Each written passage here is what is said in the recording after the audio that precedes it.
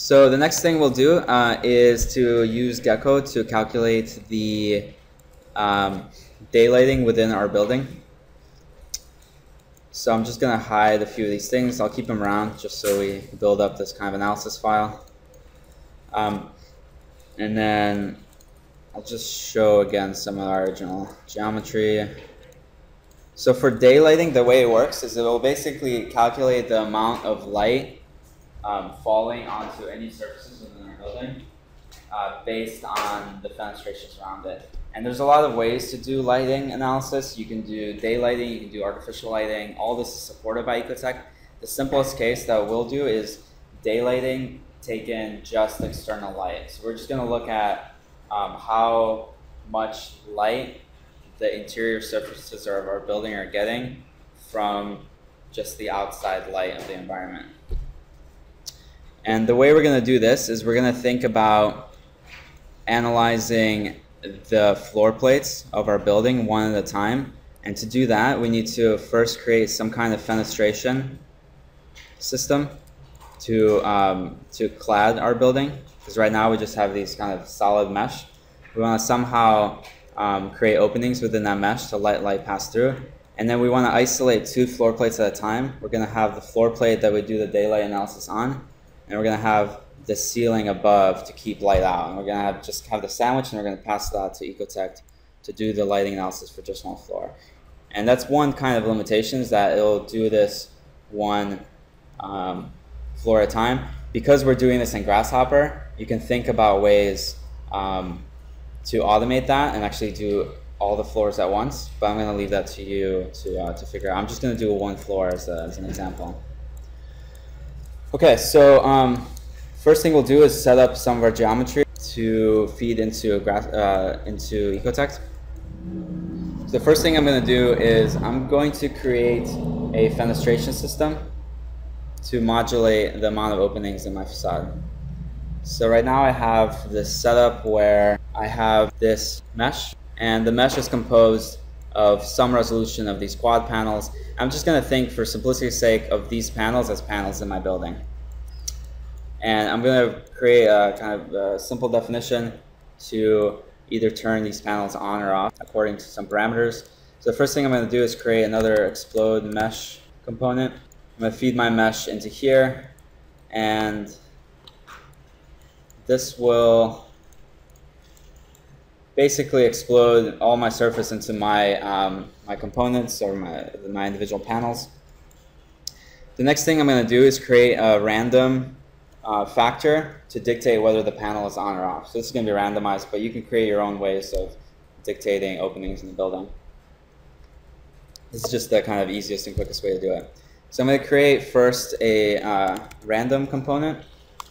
So random will uh, take a range, so here's 0 to 1, and it'll create a certain number of random values within that range. So you feed it basically a number of values that you want, and it'll create uh, that number of random values within a certain range.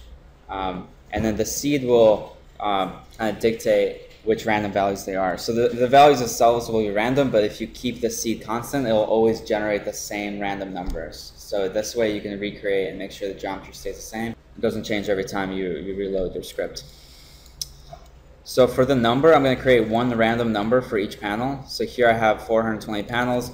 I'm going to create a list length component, feed in this panel output. It's still telling me how many panels I have, and I'm going to plug that into the number. So now I'm creating um, 420 random values between 0 and 1. One option in random, if you right click, is to turn on integer numbers.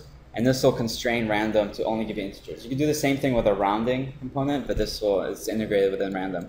So now it's always going to give me either 0 or 1 randomly, basically. Um, once I have those uh, zeros and ones, I'm going to create a dispatch component. And dispatch will take a list of um, objects, and it will place them into the, either the A or the B group according to a true-false Boolean list. Um, and the Grasshopper, zeros and ones behave the same exact way as trues and true and falses. So what I've done here really, if I, if I plug in these random numbers into the pattern, I've just created a logic for, grouping the, the panels either into group A or group B, and then I can just use group A for my solid panels, and group B will become my um, transparent panels.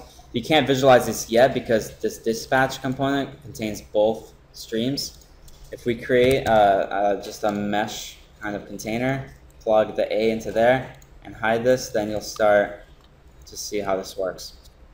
So now I've created like an even system of fenestration. Because I'm creating values from 0 to 1, there's going to be um, nearly equal number of on and off panels. If I want to have more control over how this works, I can plug in a higher number for the random range.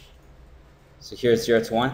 If I plug in a higher number here, so I'm just going to create a slider. So I did this before, I know what a good range is. I'm going to create it from 0.6. I'm going to start it at 1. And then I'm going to end the slider at uh, 8.0.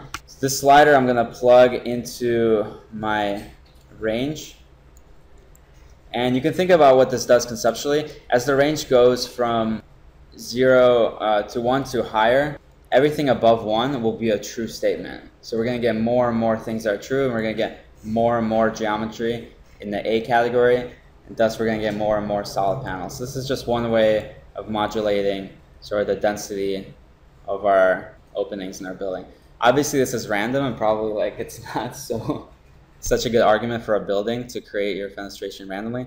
But just for the case of a of a demonstration, it's a quick way for us to see what happens as we get uh, more and more solid with our building. So now we have our fenestration system. The last thing we need to do is um, pull out a couple of these plates to be our analysis floor and then our ceiling which will keep the light out from coming up on top.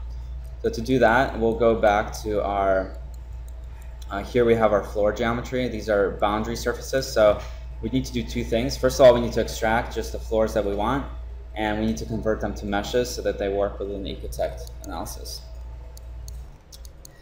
Okay, so I'm again just going to create a geo container and plug in these boundary floors. And this will allow me to just drag this geometry down into where I'm working with it down here. And again, if I want to organize things or make it look nicer, I can always hide that wire. So now I have my floor geometry sort of ready to be integrated with this workflow. All right, so the first thing I'm gonna do is select the floor I want, and I'm just gonna use a uh, list item node, plug in my list of floors. I can hide all these floors here. This by default will just give me the first one because it's defaulted at the zero index. I'll just create a slider, uh, plug it into the eye, and now this will allow me to select my floor. Um, if you go higher than the number of floors, you know, it'll start to wrap around, which if you're automating this and you want to analyze every floor, you want to make sure it's coordinated to the number of floors, you can change this range of the slider uh, to match your number of floors.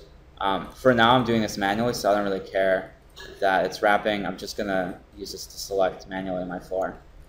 Okay, so this is selecting my floor that I want to analyze. So I can actually rename this node so I remember this is my floor here. I'm going to duplicate that and this I want to be my ceiling.